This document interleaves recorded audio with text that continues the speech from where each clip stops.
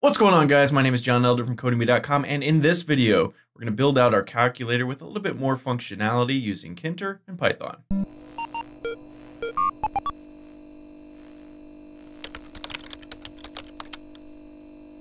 Alright, in the last video we built out the calculator to do some basic addition.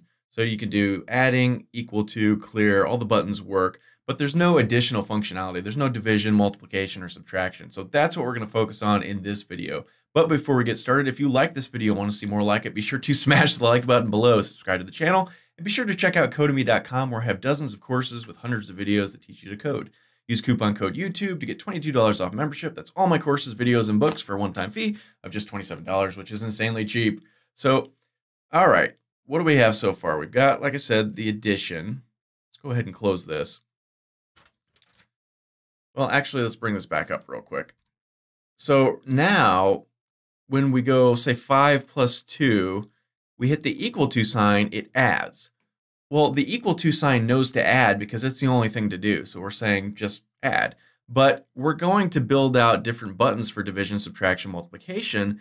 And when that happens, so if we go 2 uh, times 5, for instance, and then hit equal, how will the equal to button know we want to actually multiply or divide or subtract or add or whatever.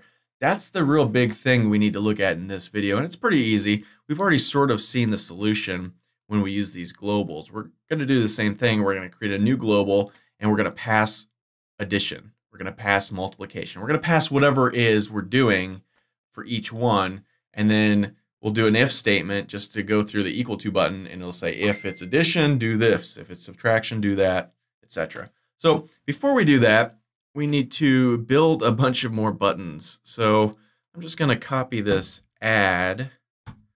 And let's just come down here and we need three more. So let's call one of them subtract and then multiply. If I can, oh my lord, what happened there? Multiply. There we go and then divide. And then up here, we need a new command. We need um, button, let's call it button subtract, and call this button multiply, and call this button divide, right? Okay, so we need to also change these. So instead of the addition sign, we need subtraction. Uh, let's use this star for multiply.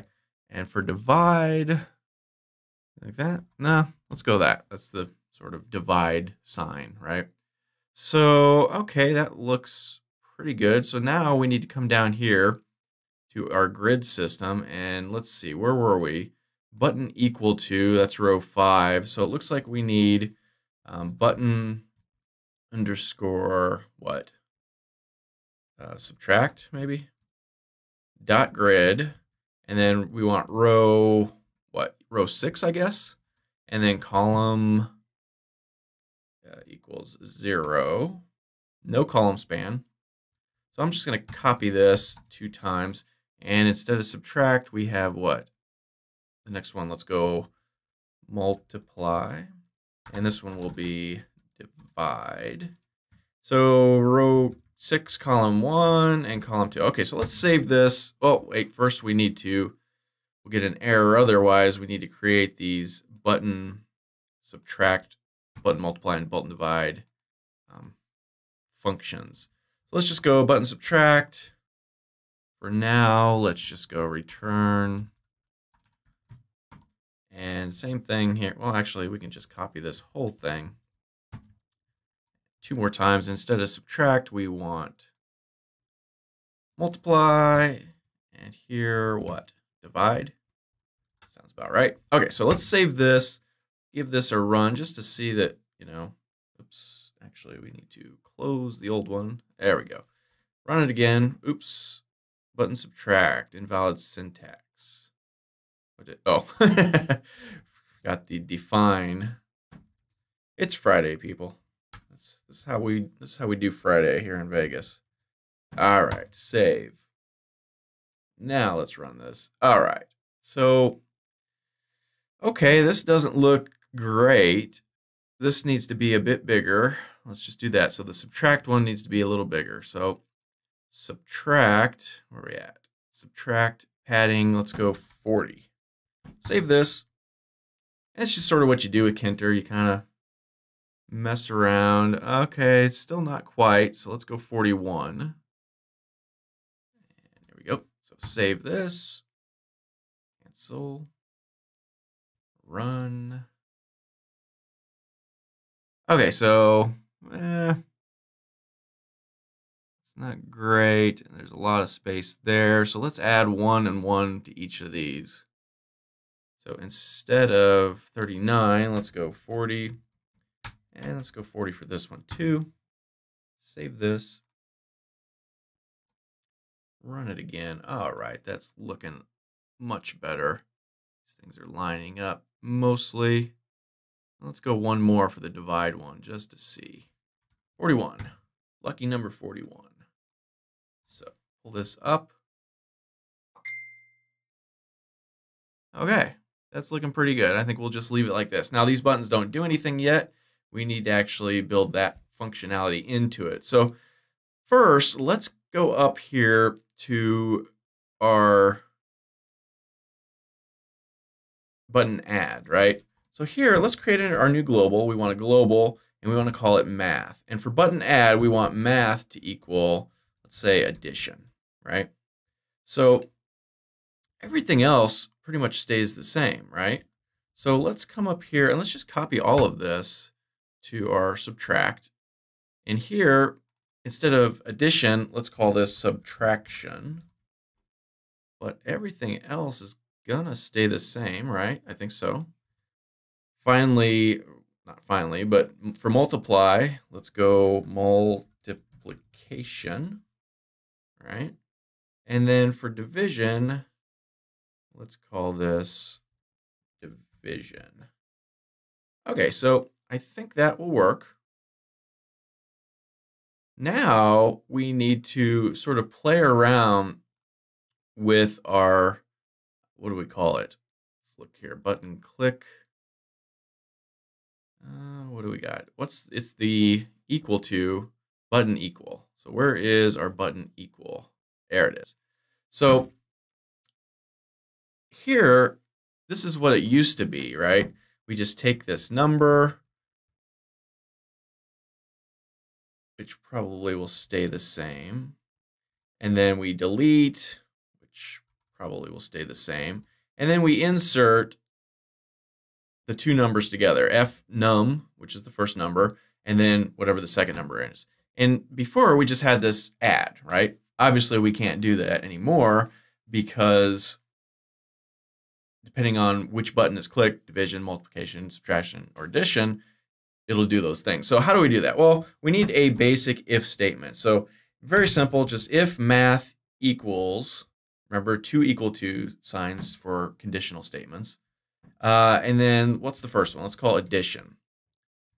Then, if that's the case, we want to do what we did before, right? Just add the two together and then pop it up on the screen, right? So that seems to work. So let's just copy this a few more times. Oops, there we go. One, two, three, four. Does that seem right? So addition, let's call this one subtract. Subtraction, if I can type. Multiplication. And you can see how the text editor is filling this in. And division. And we don't need this one.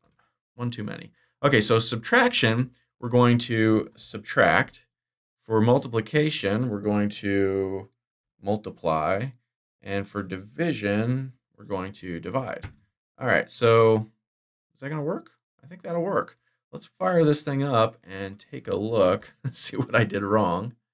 Almost certainly something. So let's go 2 plus 3 equals 5. Yes.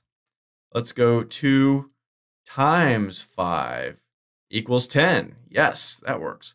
Let's go 10 minus 3 equals 7. That seems to work. And let's go 10, oops, clear. 10 divided by 2 equals 5. And notice it's 5.0. It's converting this to uh, a float, which is kind of weird, but necessary because look, if you clear this and go 10 divided by 3, right, the answer is 3.33335. It's definitionally a, a decimal number, so it converts it to a float for us, which is kind of cool.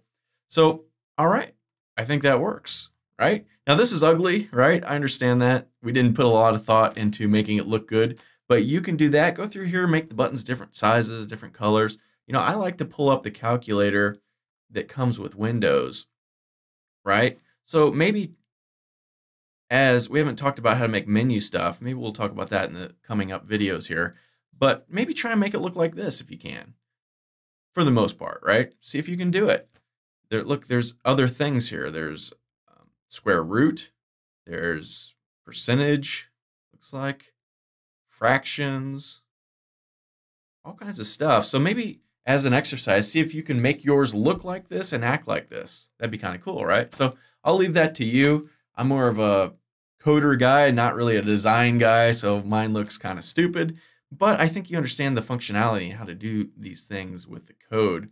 And this is a really simple way. There's probably lots of different ways you can tweak this equal to button to work, but just off the top of my head, I was like, oh, I'll just do an if statement. That'll be quick and easy, right? Uh, so that's what we did.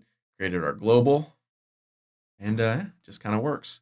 So that's all for this video. If you liked it, be sure to smash the like button below, subscribe to the channel, and check out Codemy.com where you can use coupon code YouTube to get $22 off membership. So you pay just $27 to access all my courses, hundreds of videos, and the PDF versions of all my best-selling coding books from Amazon. Join over 50,000 students learning to code just like you. My name is John Elder from Codemy.com. We'll see you in the next video.